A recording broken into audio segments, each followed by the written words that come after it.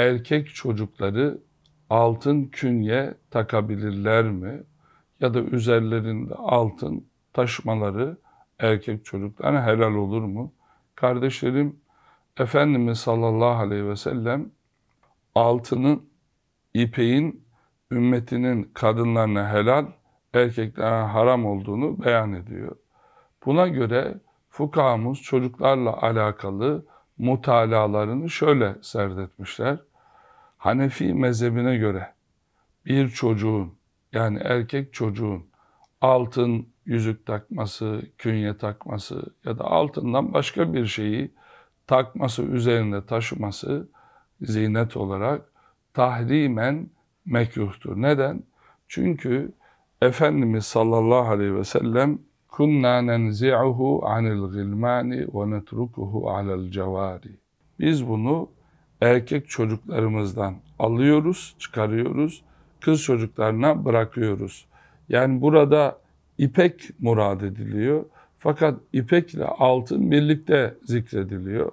O zaman Hanefiler diyorlar ki çocuk bile olsa bir erkeğin altın takması yüzük olur, künye olur, tahrime mekruh olur. Maliki mezhebine göre bu mekruhtur ama kerahat o çocukta değil. Kerahatın sorumluluğu kimdedir? Altını erkek çocuğa takan annede, babada olur. Şafii mezhebine göre ise caizdir. Mekruh bile olmaz. Erkek çocuğunun altın takması. Neden öyle diyor? Çünkü mükellef değildir, sorumlu değildir. İmam Şafii'nin böyle iştihadı var. Eğer erkek çocuğunda takıyorsanız altın künye vesaire varsa ya o zaman İmam Şafii Hazretlerini burada anne baba ebeveyn taklit etmeli. Fakat Hanefilere göre tahrimen mekruh.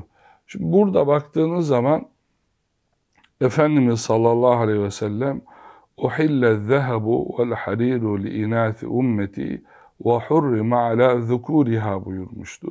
Erkeklerine haram kılındı. Altın, gümüş ümmetimin kadınlarına helal.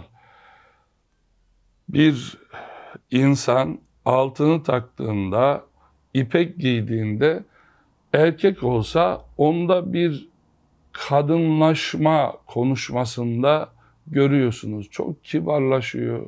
Kadın gibi konuşmalarında bir değişme hali var. İpek sürekli giyiyorsa onda bir değişme var.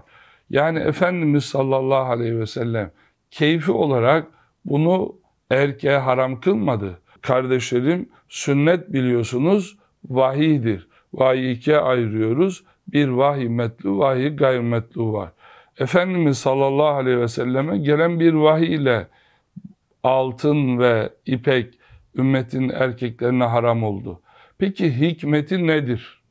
Efendim hikmetini laboratuvar katiyetiyle ortaya çıkarmış değiliz. Ama şunu görüyoruz ki gözlemlerimiz itibariyle erkekler kadınlar gibi yüzükler takıyor, kolyeler, künyeler vesaire altından bunlar taşıyorlarsa ya da ipekler giyiyorlar, kadınlar gibi renkli elbiseler onların hallerinde bir erkeklikten kadınlığa doğru bir savrulma görürsünüz. Esasında Resulullah Aleyhisselam neyi helal kıldı Allah adına, neye de haram dediyse bilin ki orada bizim faydamız, bizim maslahatımız var. Çocukların geleceği adına erkek çocuklara altın takmamak, onların bir anlamda yaratılış özelliğini, fıtratını korumak olur kardeşler.